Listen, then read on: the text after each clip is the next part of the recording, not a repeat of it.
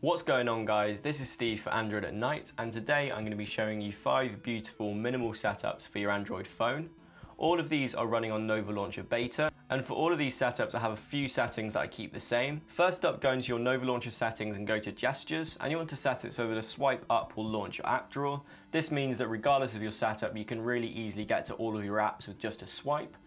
And then I also have it set so that pressing my home button will launch Google Now. The other app that I'm using for these setups is called Powerline, and this gives me this battery bar at the top of the screen, which I think works really, really nicely with a custom minimal setup. So first on this list, we have a simple one-page setup, which is using the Apex Spider One custom widget in the center, and then organized around that in a diamond shape, I've got four folders. These are all just Nova folders, but if you long press a folder on your home screen and hit edit, you can then select swipe to launch, and this will mean that the first icon in the folder will just display. You can then tap on any of these folders and you'll go straight to the application, or you can swipe up to launch the folder. Next up is another one screen setup. At the top here we've got the OCEA Flow custom widget. In the middle of the screen here we've got the minimal VL1 Yin Yang custom widget clock. And then at the bottom here we've got a Nova Launcher dock which has got five icons on. Again these are folders but I have them set to swipe to open and again we are using the Whicons icon pack. Next up on this list we have a two screen setup. On the first sort of landing page here, we've got this minimalist Unity 27 custom widget.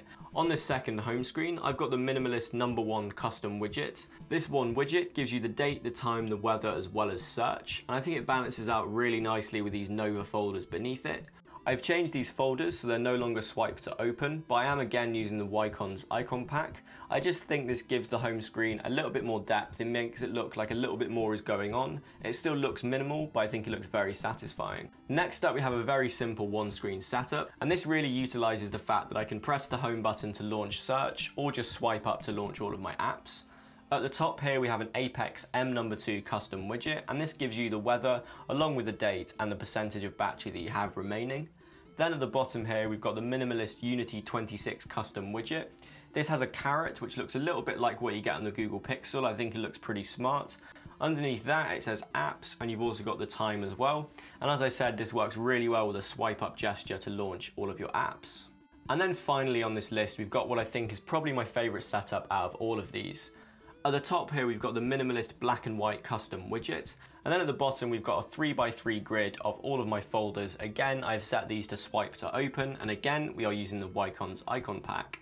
So in this view, you can see this clock a little bit more clearly, and I think it works really, really well with the power bar and the general white and black aesthetic that we're going for with these minimal home screens. So there you are guys, those are five great minimal home screen setups for your Android phone.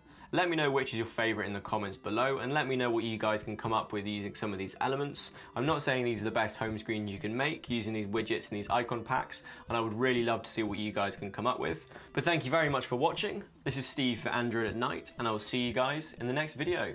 Peace.